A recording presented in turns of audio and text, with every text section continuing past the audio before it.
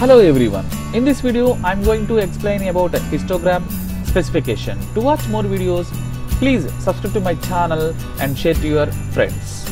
So before going to this histogram specification, if you see these two images, this image is a, a better quality image and this image is a, a low contrast image.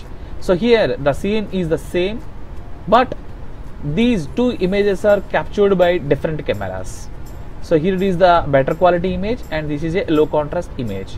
So now by using this histogram specification we will map these values of uh, this original image with the target image mapping values so that we will get a better quality output image. So for these two images we are representing in the form of a, a matrix. That is nothing but we are representing these two images in the form of a matrix.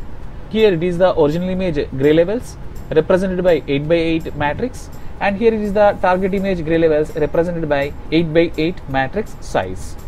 So for these two images we are representing that gray level distribution in the table format. So here this is the table which representing that original image gray level distribution and the second table representing that target image gray level distribution. So here the gray level is represented as R and the number of pixels are represented by P here. So that is uh, within this image the maximum gray level is 7. So here we can represent this 7 in the binary format as 111 that is nothing but uh, by 3 bits. So here by considering the base to 2 to the power of 3 equal to 8.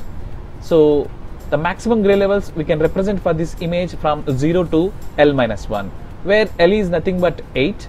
So here we can represent the maximum gray level as L minus 1 so 8 minus 1 is nothing but 7. So for these two images, the maximum gray level is 7. So that is why we are taking that the gray levels are taken from 0 to 7. So here for this corresponding gray levels, we are representing that the number of pixels. That is, for example, here we have 12 pixels are there. So these 12 pixels has fourth gray level, and uh, here we have 16 pixels are there. For these 16 pixels, the gray level value is 5 and here we have 4 is there. For this 4 the gray level value is 6 is there. And for here we have 2 pixels are there. Here the gray level value is 7 so like that we will represent that original image and target image gray level distribution. And after representing that uh, gray level distribution we will do histogram equalization for individual images. So here we'll take that gray level values from 0 to 7 and the number of pixels having that corresponding gray levels are represented as pk. So 0th gray level contains 8 pixels and gray level value 1 contains 10 pixels like that the gray level value 7 contains 2 pixels. So like this we are representing that number of pixels. Now we will do the cumulative value.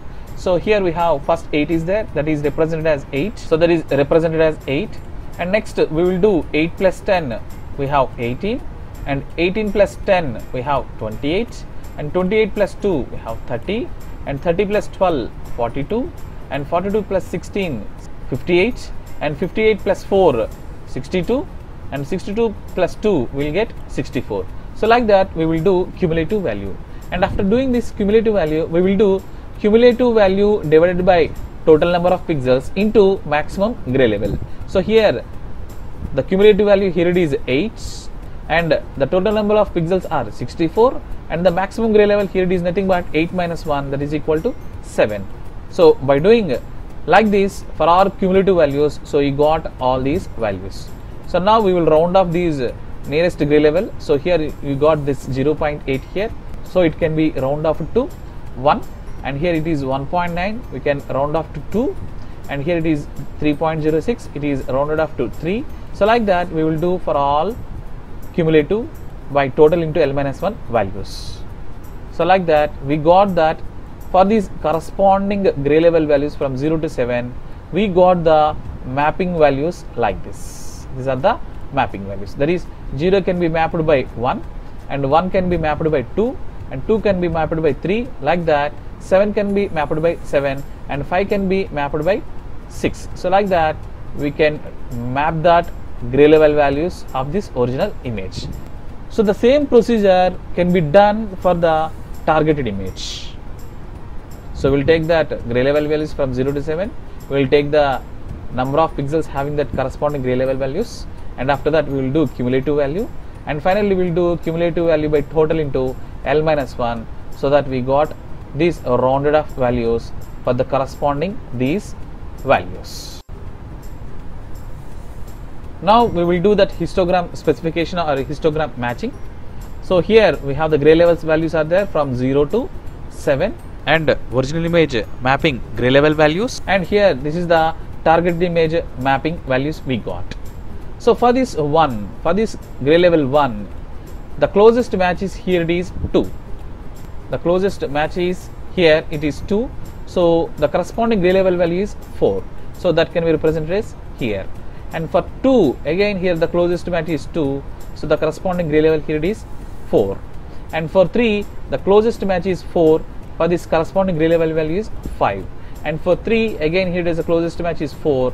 That can be represented the gray value as 5. So here we can represent 4, 5 and 5. And for this 5, the closest match is 6. So here the 6 gray level value is given as 6 here. So it can be represented as 6. And for this 6, we have the closest match is again 6. That can be represented as by 6 here. Because for this 6, the corresponding gray level value is 6 here. And for 7, the closest match is 7 here. For this 7, the corresponding gray level value is 7. And for this 7, the closest match is 7. Again, for this corresponding value, here we got this 7. So here it is 7. So like this, by considering that uh, original image, the targeted mapping values are mapped to another mapped values, that is another gray level values. So that we got 4, 4, 5, 5, 6, 6 and 7, 7. So like this, we will do histogram specification or matching. So here, this is the original image and here it is the targeted image. In previous, we got that low contrast image. Now by doing this histogram specification or matching, the we got the better quality output image. So thank you very much for watching this video.